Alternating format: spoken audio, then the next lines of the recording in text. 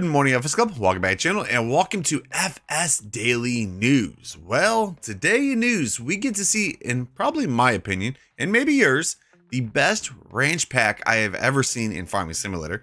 Plus, we talk about a new license brand for Farming Simulator, and that testing list is still here, and there is 54 mods on that list. Remember, before we get to that news, make sure to hit that like button, smack that sub button, and ring that bell. Now, roll that intro, and let's go. Round and round the world we'll go, putting on the greatest show.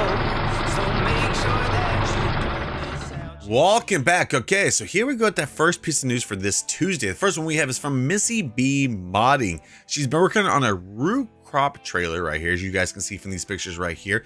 It is getting real now, is what she says. Model is 100% done. UV mapping is about 20% done. The XML is 100% done, and testing is 0% done. We really don't see uh, many, like, you know, root crop trailers in the game. Be actually nice to get something like this, and looks like the storage is going to be, uh, we're going to have really good storage on that. So that looks really good right there. After that one, we have some news from LR Modding, Assembly Giants 2510H plus tank ammonia. Returning with the 2510H nutrient applicator, he'll make two versions. One with the ammonia applicator, which in this case is the one in the photo as you guys can see, and the other he will be making for high speed application with dry nutrient accessory with ammonia tank together, which I'm pretty sure we'll not probably see that on console. This probably will be a PC only mod. Anyways, the progress on this one, modeling is 100% done, UV mapping is 100% done, texturing is 100% done, and UDUM is 100% done. Giants editor is 90%, and in game it's already 50%, so it's getting close. The next, we got some news from MS modding about his Purbeck Valley. A lot of people's been actually waiting on this. Anyways, he says, Hey guys, an update on Purbeck. He has seen everybody's comments regarding the dirt roads. He has made the decision to remove them as he's been talking to Giants and they have said that they have too many polys. So he's removed all the dirt textures, sorry, all the dirt roads, and painted them with new textures which in a way you can get a design your own roads. Another reason he has removed them as he wants everybody to play on the map sooner. He'll be sending the map to Giants actually today. And if you're on PC and you guys use the Get Animal Grazing mod, well, guess what? The cows are now animal grazing ready. And speaking of maps, Lancey Boy has actually updated us a little bit on his next map, American Falls, which I can't wait for this one. But anyways, he says American Falls is slowly coming to a finish and shouldn't be that long. Now, this is an awesome picture right here. Also, his Facebook page is down, guys. So any news that he needs to post, he'll be actually getting a hold of me, and I will be posting on the club's Facebook page or on this YouTube channel. So with all that out of the way, let's get to the next piece of news, which is from JHHG Modding.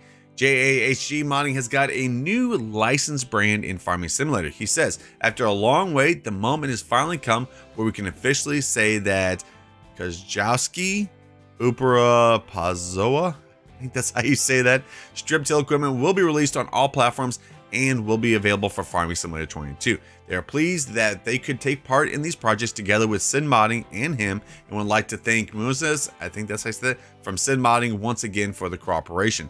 In the next few days, together with Sid Modding, he'll be actually sending updates of the ST, PS, and STK machines regarding version changes on consoles, along with the new machines, the MOT 2022. So keep an eye out for this. This should be coming out very soon. And now onto that last piece of news for today, which is from Elk Mountain Modding. And no, it is not about his map. That I actually don't have any news on that. Just gotta be patient, guys. But this is about his ranch pack. The ranch house garage, and gate have now all been submitted to Giants for testing. He would have submitted it a little bit sooner, but he wanted to add a wider version of the gate as an option. So this, in my opinion, is probably one of the best houses I've actually seen on Farming Simulator. Let me know what you guys think about it in the comment section below. Are you guys planning on using this pack?